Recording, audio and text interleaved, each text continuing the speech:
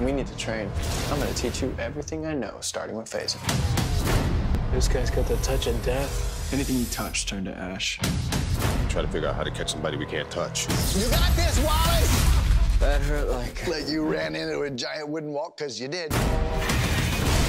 The next time you're out there and you're alone, you will win. Too late, Kid Flash. Iris. I wasn't fast enough.